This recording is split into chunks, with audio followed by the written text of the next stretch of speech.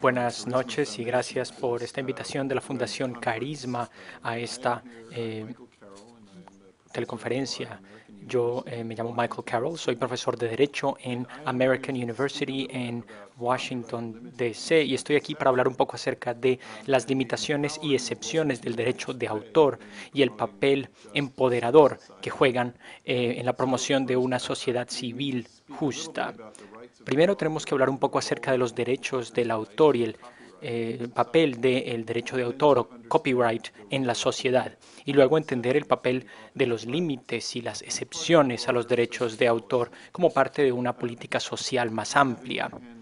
Tengo en mi mano la traducción al inglés de la Organización Mundial de Propiedad Intelectual de eh, la Ley de Derecho de Autor colombiana. Y eh, cuando se lee, se ve como una ley de derecho de autor eh, muy típica. Y la suposición en el derecho de autor es que los autores son miembros de la sociedad que brindan algún beneficio especial a la sociedad a través de sus obras creativas, las cuales encarnan su personalidad y que enriquecen nuestras vidas con nuevos relatos, nuevo conocimiento, nuevo entretenimiento y que esta contribución a la sociedad debe ser recompensada a través del reconocimiento de eh, derecho de autor o copyright, que están compuestos tanto de derechos morales, el derecho de recibir crédito como el crédito por ser el autor y el derecho de controlar ciertos usos de la obra basados en los intereses de la personalidad del autor, y luego algunos derechos económicos, derechos a rentarse, a beneficiarse económicamente de esta contribución a la sociedad. La mayor parte de lo que vamos a hablar se centra en los límites y las excepciones a los derechos económicos que se le dan al autor. Entonces, la teoría es que debemos darle este control al autor porque sin el control otros miembros de la sociedad copiarían libremente la obra del autor sin darle al autor el crédito y sin pagarle al autor y que entonces el autor no tendría suficiente incentivo o el deseo de brindarle sus obras creativas a la sociedad. Entonces, los derechos exclusivos bajo el derecho de autor están allí para requerir permiso, para que se requiera el pago por el uso de la obra y este es el entendimiento básico de los derechos de autor. Es decir, que el autor puede controlar eh, la creación de copias de su obra creativa, la distribución de las copias entre el público, también la eh, representación pública de cualquier obra literaria u otras obras que se puedan representar en público, la comunicación al público de eh, la obra eh, protegida, la exhibición pública de la obra protegida o la creación de adaptaciones, incluyendo el derecho de traducción o el derecho de cambiar una novela, de convertir una novela en una película o en un programa de televisión. Todos estos son los derechos eh, típicos que se le dan al autor en los que se requiere el permiso. Y la estructura general del derecho de autor es definir los derechos de manera muy amplia sin tomar en cuenta ninguna situación en particular. Es decir, si uno quiere hacer una copia, si uno quiere eh, representarlo en público, hay que ir y conseguir permiso. Ahora, el papel de las limitaciones y las excepciones se entiende normalmente como eh, ciertos tipos particulares de usos en los que el autor no debería tener el control, en los que el autor debería permitir su uso porque existe algún beneficio público de este uso que la ley debería reconocer. Entonces tenemos un equilibrio entre este tratamiento especial que se le da al autor a través de los derechos de autor y luego un reconocimiento general de los derechos de la sociedad, de utilizar la contribución del autor eh, para fines eh, de educación, de entretenimiento, eh, de noticia y crítica y algunos y otros usos que son socialmente beneficiosos. Y hoy quiero hablar un poco acerca de, de cómo se de cómo se habla normalmente de las limitaciones y las excepciones en el derecho de autor y en las políticas públicas sobre derecho de autor. Y quiero hablar un poco sobre la, agencia, la, agenda positiva y, el deseo de, de, cambiar, de reenmarcar la manera como se entienden las limitaciones y excepciones para poder hablar un poco acerca de qué tipos de limitaciones y excepciones debería tener una buena ley de derecho de autor. Entonces, si ponemos atención al lenguaje, tenemos los derechos del autor y luego las limitaciones y las excepciones. Entonces, el público simplemente recibe unos pequeños límites o ciertas excepciones, pero por lo general el autor es quien tiene los derechos. Esto eh, privilegia al autor contra el usuario y el interés del autor se considera más importante que el interés del usuario. Y cuando vemos los límites y excepciones particulares que están en la ley, vemos que los derechos generales del autor se entienden de manera muy amplia, se definen de manera muy amplia. Y luego los límites y las excepciones con frecuencia son muy, muy específicos. Un límite general que todas las leyes de derecho de autor eh, que son parte del sistema internacional tienen que tener es el derecho a la cita. Entonces, una pequeña cita de otra fuente, siempre y cuando se identifique la fuente, se considera como una limitación y excepción obligatoria en uh, la Convención de Berna, que proviene de finales del siglo XIX. Pero este es un uso típico. Si lo piensan, ¿no les parece natural que una persona debe poder eh, citar algo que oyó de otra persona. Esto es una parte normal del discurso humano, pero en la estructura del derecho de autor. Esta actividad normal se tiene que tratar como una excepción especial, porque el derecho de reproducir la obra, el derecho de representar la obra se define de manera tan amplia que si no se crea una excepción incluso para esta actividad tan normal, la de citar a otra persona, entonces no existiría ninguna base jurídica para que eh, se permita la cita. Y este es el problema, esta es la tensión en la estructura de la ley de derecho de autor, y es que hay actividades normales que tienen que cobijarse bajo excepciones o limitaciones, en lugar de tratarlas como actividades normales eh, bajo la ley. Entonces, una de las cosas que la sociedad civil debe hacer, especialmente en la era digital, es pensar acerca de aquellas actividades que para los usuarios son normales y que la sociedad debería considerar como normales, pero que la ley de derecho de autor no incluye. Porque si la ley de derecho de autor no crea una excepción o una limitación, entonces lo que se supone es que el derecho de autor se está, eh, se está violando y que esto crea entonces una responsabilidad civil. Eh, entonces, las excepciones y limitaciones crean el espacio o, la capacidad, el poder de, eh, de, llevar a cabo actividades con las obras culturales que provienen de otras personas.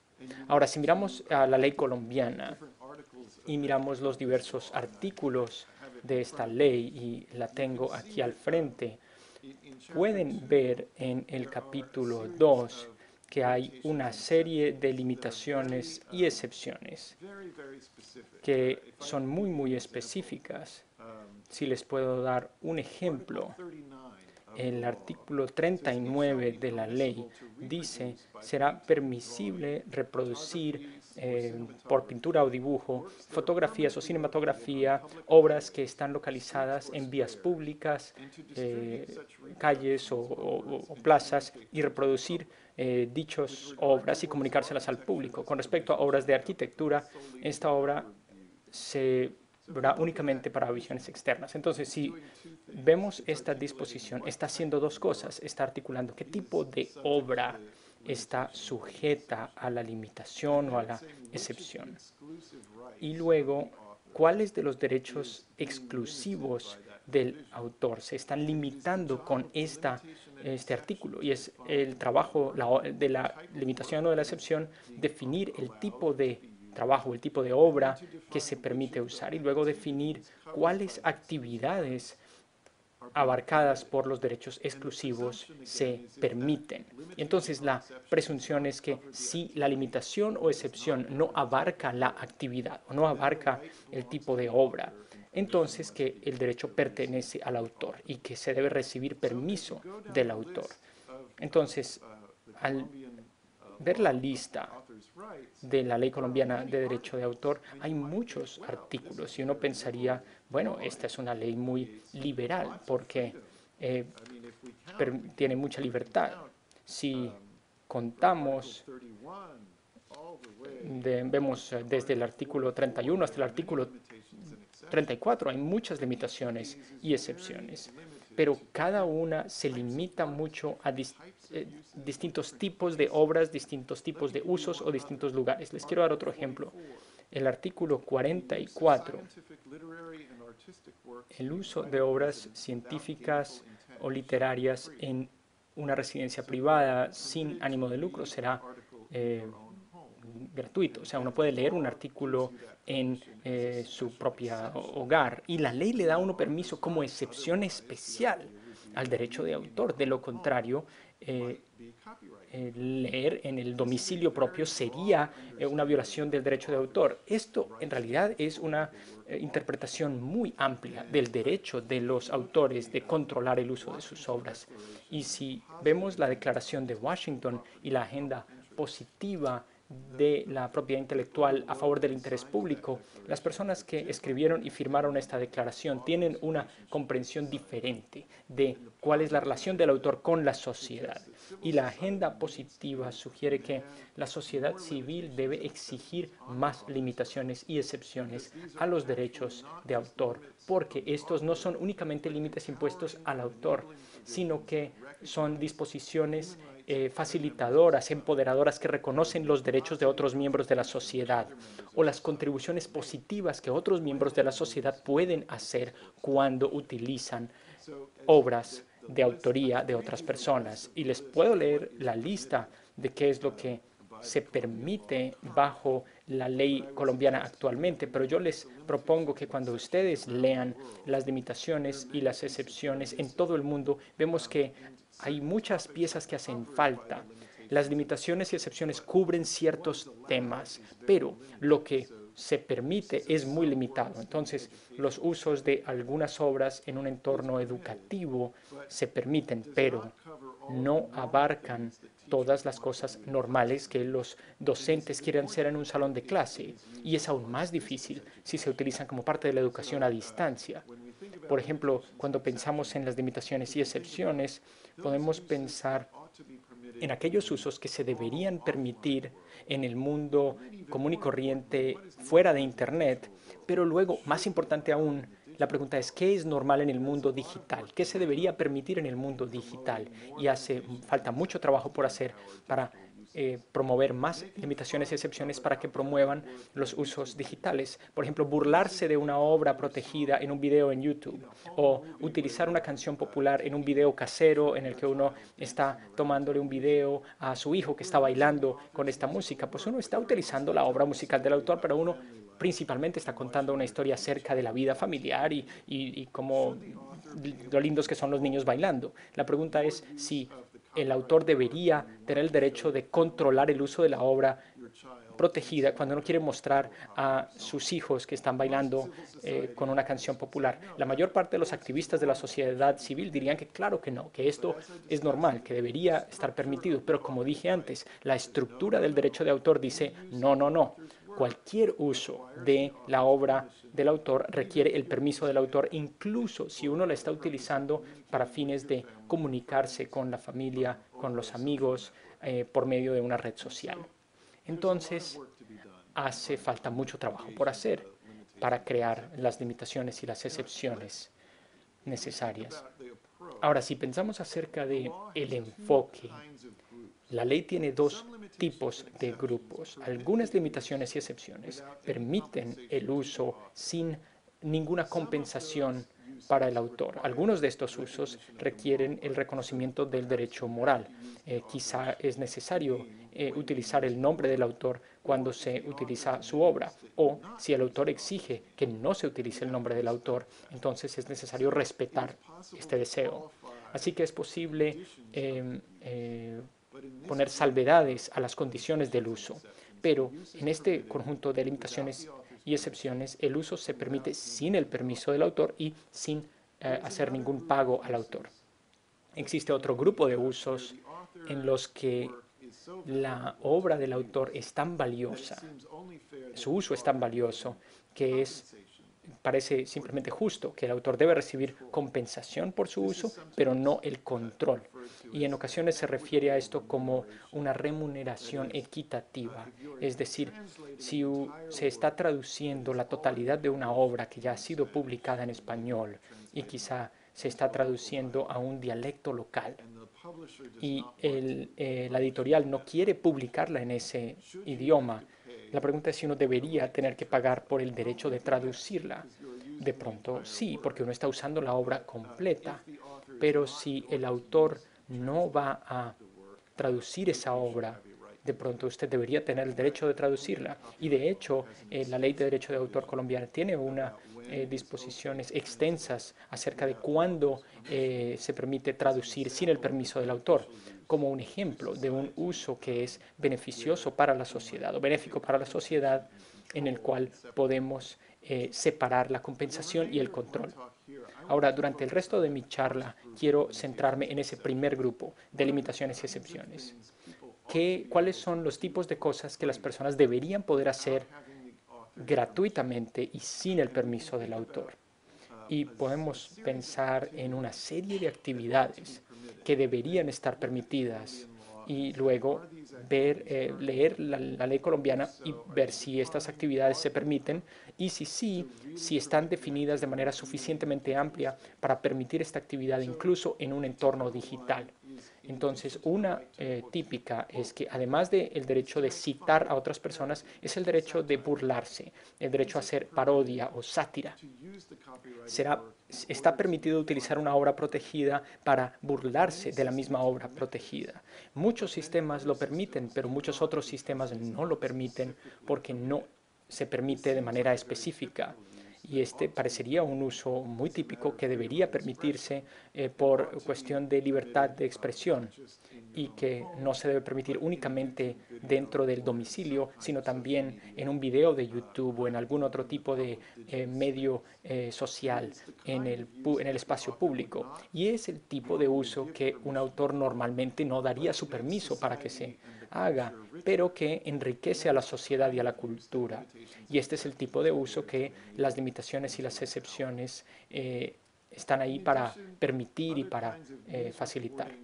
Además, ciertos tipos de reportajes de noticias, de crítica y de comentario son eh, temas que normalmente están abarcados en las limitaciones y excepciones. El derecho colombiano tiene algunas disposiciones para el uso de en artículos de prensa y otros tipos de actividades, pero hay que examinar la ley para ver si cumplen con su idea de lo que es normal y lo que es junto en cuanto al uso de las noticias del día en un salón de clase o en un grupo de discusión o en algún otro tipo de espacio público.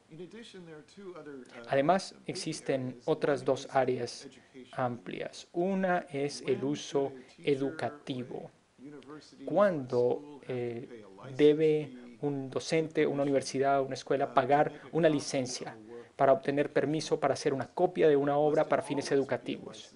¿Será que siempre debe ser una obra protegida o eh, será que en ocasiones deben poder hacer las copias de manera eh, gratuita. Y muchos eh, sistemas tienen un uso educativo que, es, eh, lo, que lo abarca su, su, su, ley. Y además de las actividades de investigación, el artículo 44 que les leí sugiere que las obras científicas solamente se pueden utilizar dentro del el domicilio privado. ¿Será que esto quiere decir que un profesor en su oficina no puede utilizar un artículo eh, científico sin el permiso? Parecería que, no puede. Eh, ¿Será que esto es lo que realmente permite la, la, práctica justa? ¿Será realmente necesario si la universidad ya compró un artículo o si compró una copia de una revista especializada que no se le permita al, al, al, al profesor hacer una copia personal dentro de su oficina? Este es el tipo de caso en el que estas limitaciones y excepciones tan particulares, tan específicas, no tienen la flexibilidad para adaptarse a nuevas circunstancias. ¿Podría el autor, no el autor, el profesor, utilizar parte del artículo en un sitio web que el profesor crea en Internet?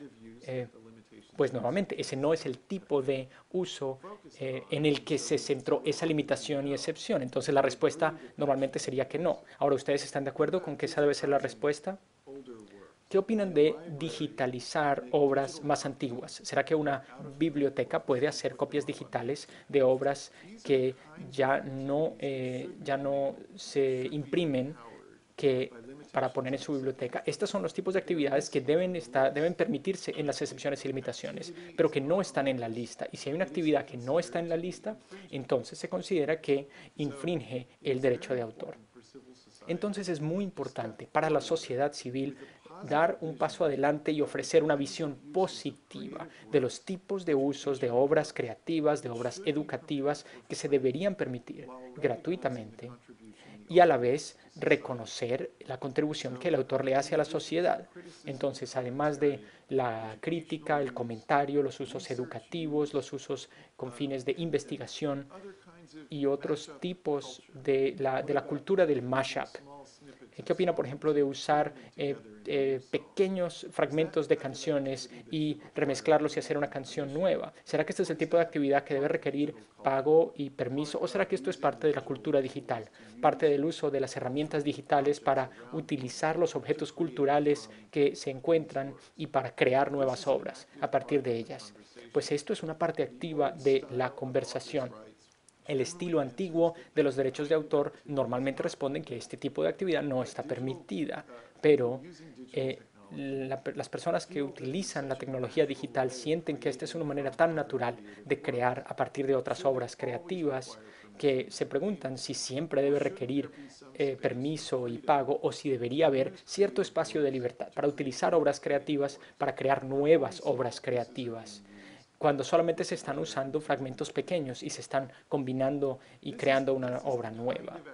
Este es el tipo de actividad que la agenda positiva quiere ver que se permita, que se facilite y que se empodere. Pero es necesario que la sociedad civil eh, eh, se, se, se enfrente y diga, sí, hay que respetar los derechos de autor, pero los derechos del autor no son los únicos derechos que cuentan. La sociedad tiene un interés en la cultura, tiene interés en tener acceso a la cultura y en participar en la cultura. Y esto en ocasiones requiere utilizar la obra de un autor para poder participar en la cultura. Eso es lo que la agenda positiva busca. Nosotros buscamos que haya excepciones y limitaciones que lo permitan. Entonces, aquí hay dos estrategias importantes con las que yo los quiero dejar. La primera es, eh, proponer el caso jurídico en los tribunales para la interpretación más amplia posible de la ley existente. Por ejemplo, el derecho a citar. ¿Qué cuenta como una cita? ¿Es únicamente el uso de un texto o será que no puede tomarle una foto a otra foto y que esto constituya una cita o será que esto ya constituye una copia? En segundo lugar, no es suficiente tratar de agrandar esta lista puede que sea deseable pensar en otras actividades que pertenecen en la lista de limitaciones y excepciones, pero nuestra imaginación está limitada por lo que ya conocemos y el futuro eh, tiene muchas oportunidades nuevas para participar y crear cultura. Entonces, lo que se requiere es una limitación y excepción flexible que no esté confinada de la manera que les expliqué anteriormente a cierto tipo de obra o a un derecho exclusivo en particular. Más bien, una, que sea una provisión equilibradora, que más bien se pregunte cuál es el beneficio del uso y cuál es el efecto sobre los intereses del autor y si este equilibrio favorece su uso o no. Este tipo de limitación y excepción, la cual tenemos en el derecho de autor estadounidense conocido como uso justo, le permite a los tribunales tomar una decisión más específica basada en las nuevas circunstancias. Y en la era digital, en la que continuamente se producen nuevas tecnologías digitales, por ejemplo, cosas como copias temporales que a nadie se le ocurrían antes, ahora técnicamente podrían ser copias que el autor controla.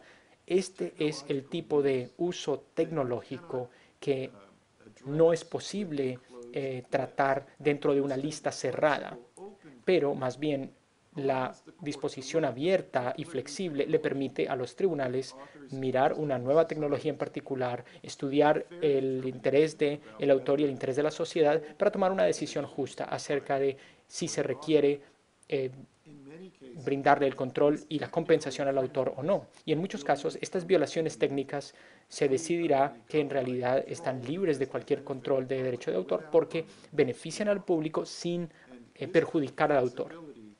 Y este tipo de flexibilidad le permite a la ley adaptarse y crecer con su nuevo entorno, con las nuevas tecnologías. Entonces, de todas las cosas que la sociedad civil puede hacer para hacer que la ley funcione mejor para la sociedad, está el promover y exigir que exista una única excepción y limitación que sea flexible, que no esté limitada al tipo de obra protegida, que no esté limitada al tipo de derecho exclusivo, sino que más bien equilibre el interés general del autor y el interés general de la sociedad en el, en el uso. Entonces yo siento que mi, mi papel aquí es informar y alentar. Y yo sinceramente quiero alentarlos a que promuevan una excepción o limitación abierta y flexible. Y esto puede hacer una gran diferencia eh, en lo que se va a permitir o no se va a permitir en la Internet. Los usos para fines educativos o de investigación, la conversación, las conversaciones culturales, todas estas cosas pueden ser, eh, pues, se pueden facilitar si existe una disposición abierta eh, en lugar de tener que ver las cosas caso por caso. Ahora, por supuesto, se pueden hacer las dos cosas. Se pueden agregar disposiciones a la lista si existen algunas actividades específicas o algunas obras específicas que ustedes sienten que se deben permitir ahora mismo. Pero por favor, no se detengan simplemente con una lista cerrada más grande. Abrir la lista es eh, lo esencial y vemos que muchos países del mundo están haciendo este, este cambio. El país, por ejemplo, de Israel cambió su derecho, su ley de derecho de autor y adoptó una disposición de uso justo para poder crear esta flexibilidad. El país de Corea del Sur, que firmó un tratado de libre comercio muy similar al tratado de libre comercio que Estados Unidos firmó con Colombia, y después de haber eh, firmado este tratado de libre comercio, Corea del Sur cambió su ley de derecho de autor y como parte de este cambio ellos adoptaron una disposición abierta que combina eh, la, la así llamada prueba de tres pasos con el uso justo. Entonces, muchos otros países están estudiando algún tipo de cláusula que abra las, las excepciones. Por ejemplo, Brasil está estudiando un proyecto de ley que tendría este tipo de cláusula abierta. China está estudiando una modificación de su ley que incluye esta cláusula ah, de apertura, esta cláusula abierta. Esta es una tendencia muy importante en el mundo. Es una tendencia importante porque reconoce que la sociedad necesita que sus intereses se tomen en cuenta a la hora de equilibrar entre los derechos del autor y los derechos de la sociedad. Ahora, yo mencioné esta prueba de tres pasos, entonces quiero terminar explicando eh, eh, qué, qué es esto dentro del derecho de autor internacional. Colombia y muchos otros países del mundo son miembros de eh, tratados internacionales. Cada país que firma un tratado hace ciertas promesas acerca de lo que su ley de derecho de autor sí hará y lo que no hará. Y la llamada prueba de tres pasos es una promesa a nivel internacional de crear ciertas barreras alrededor de los tipos de limitaciones y excepciones a los derechos de autor que serán permisibles. Y existen algunos mitos acerca de lo que esta prueba de tres pasos realmente dice y lo que no dice. En general, limita al ente legislador a crear limitaciones y excepciones que se apliquen en casos especiales que no perjudiquen eh, la explotación normal de la obra y que no eh, y que tampoco perjudiquen los derechos legítimos del dueño del derecho de autor o del autor mismo pero existen muchas interpretaciones erradas acerca de lo que esta prueba permite y lo que no permite. Por ejemplo, el qué es un caso especial. Hay personas que sostienen que únicamente si uno dice específicamente este tipo de obra, este derecho específico, se tiene un caso especial. Sin embargo, algunas autoridades Em, acerca del sistema internacional, escribieron un artículo para nosotros que es muy explícito y que dice que el tipo de disposición abierta, la disposición equilibrante, en realidad funciona mejor para identificar casos especiales, porque únicamente constituye un caso especial cuando el equilibrio favorezca su uso. Entonces se pueden estudiar las particularidades del tipo de uso y ahí sí determinar o decidir si se debe permitir o no. Y entonces es un caso especial. Entonces no hay ningún problema con que exista una cláusula abierta dentro de esta prueba de tres pasos sobre los casos especiales. Ahora la pregunta es, ¿qué pasa con la explotación normal? Pues esto también se considera dentro de la cláusula abierta o la disposición de equilibrio. Y este es uno de los factores que se deben tomar en cuenta al decidir si el uso se debe permitir o no. Debemos reconocer que la explotación económica normal de la obra en la que existen prácticas de licencias existentes eh, debe ser tomada en cuenta cuando vamos a decidir si se debe permitir un uso o no. Y debemos tomar en cuenta los intereses legítimos del autor, intereses de que se le reconozca su nombre y su reputación y que se protejan su nombre y su reputación. Pero también debemos recordar que la sociedad tiene derechos y eh, los derechos humanos internacionales son parte del sistema internacional. La libertad de expresión también es parte del sistema internacional. Y entonces, bien sea que sea parte de los derechos de autor específicamente o parte del eh, marco internacional jurídico más amplio, los derechos de la sociedad también se deben reconocer a la hora de considerar cómo se aplica esta prueba de tres pasos. Y cuando se toma este, esta perspectiva, es fácil entender que las leyes nacionales tienen mucho campo, tienen mucha flexibilidad para adoptar este tipo de cláusula abierta de flexibilización para permitir el tipo de obras protegidas que permiten eh, la educación, la cultura de mashup, eh, la investigación, el reportaje de noticias, los tipos de de actividades que queremos tener en una cultura rica en una cultura eh, diversa. Estos son los tipos eh, de, de, cosas que, por las que luchamos en la agenda positiva y la manera de luchar por estas cosas dentro de la tradición del derecho de autor es definir limitaciones y excepciones. Y a pesar de que sí es suficientemente fácil ampliar la lista de limitaciones y excepciones específicas, la mejor manera de lograr un mejor equilibrio y más derechos para la sociedad es con esta disposición equilibradora, esta disposición abierta que tome en cuenta los derechos de la sociedad, pero también tome en cuenta los intereses de la sociedad. Ahora, me encantaría eh, entablar una conversación acerca de maneras más específicas como eh, este tipo de, promoción eh, o, de, activismo se puede hacer. Pero para ser más puntuales, son perfectamente aceptables bajo el derecho internacional tener más limitaciones y excepciones y es necesario tener más limitaciones y excepciones para que eh, los derechos del autor encajen dentro de la situación moderna de cultura, de, tecnología digital y acceso a la cultura y hay que eh, adaptar los derechos de autor a esta situación moderna. Entonces yo quiero alentarlos por el trabajo que les queda por hacer. Yo espero que les haya parecido útil esta charla y em, con mucho gusto quiero seguir la conversación acerca de la agenda positiva. Gracias.